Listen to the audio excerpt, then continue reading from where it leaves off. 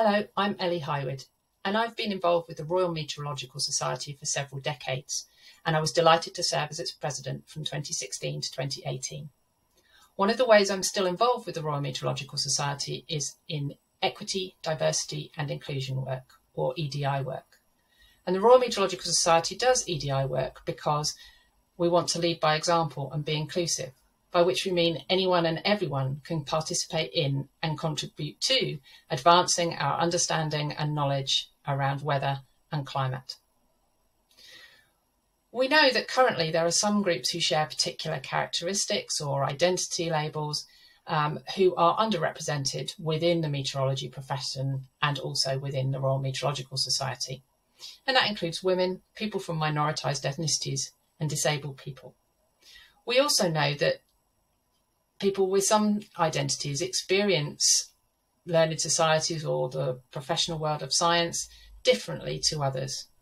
And that can include people with particular religious beliefs or people who are part of an LGBTQ plus community.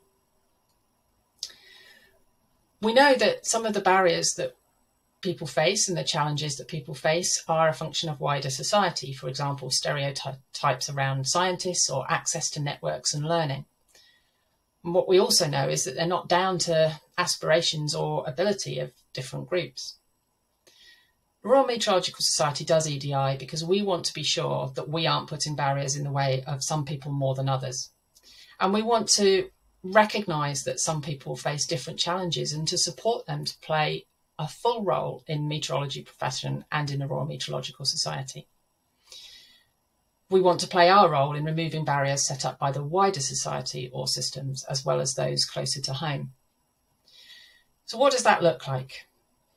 EDI work at Royal Meteorological Society might mean ensuring that people with mobility impairments can access the venues for our meetings. EDI work might mean ensuring that people with hearing or vision impairments are able to play a full role in our meetings or in our committees. It might mean ensuring that Everyone who is worthy of winning an award or publishing a paper in a society journal has the same opportunity to do that, no matter where they come from, what their nationality is, and what their first language is. It might mean ensuring that everyone feels welcome. It might mean ensuring that we look widely for speakers and take steps to ensure that our leadership represents our members. We've made equity, diversity and inclusion a cross-cutting theme for our Royal Meteorological Society strategy. You can find out more about what we're doing at any one time on the Royal Meteorological Society website, where there are specific pages for EDI, equity, diversity and inclusion.